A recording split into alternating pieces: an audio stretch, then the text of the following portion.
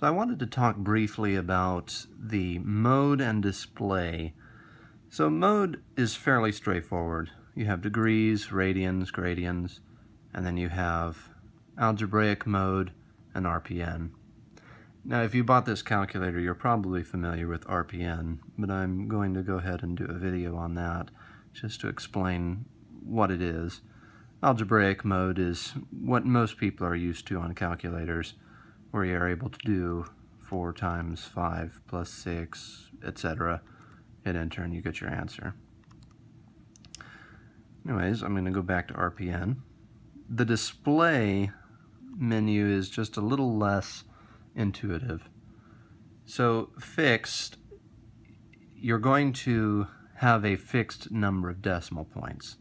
So if I enter fixed, it asks me how many decimal places do I want to display?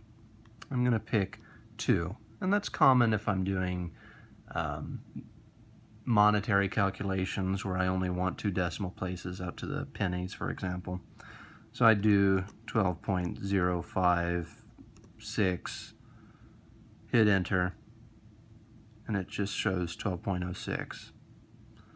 And then 13.025, and add those two together and it just shows me out to the hundredths decimal place.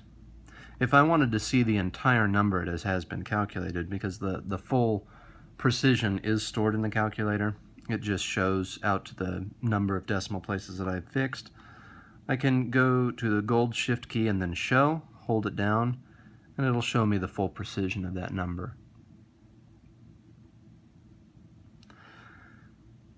Go back to display mode. Scientific.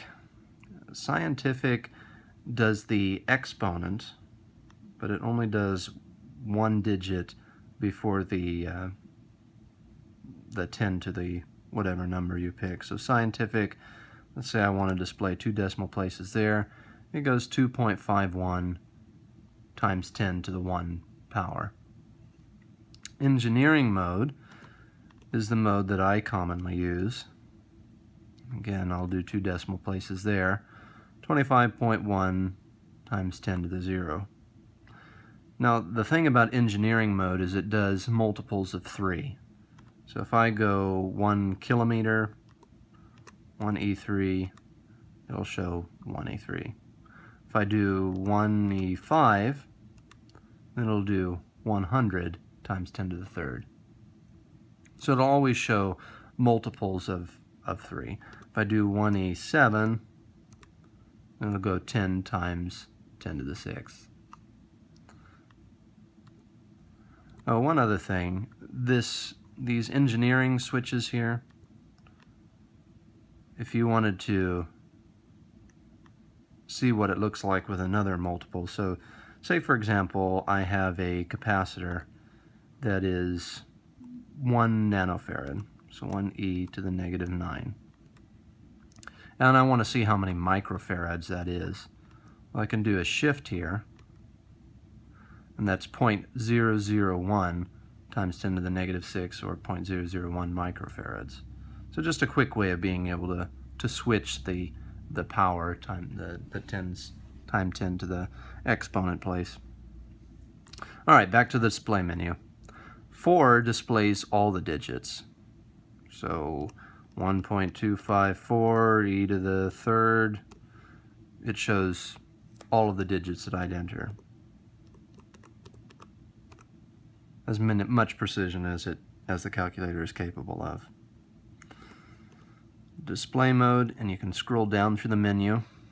The period, that is your decimal place.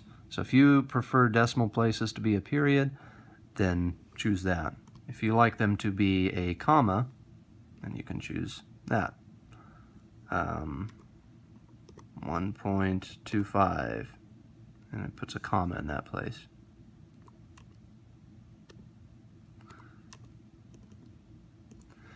Here, you choose if you want to see a comma for the uh, thousandth separator, so for a million, a thousand, etc., or if you just want it to be straight numbers. Here's your rectangular notation and your polar notation for complex numbers. So that's it for the, the mode and display menus.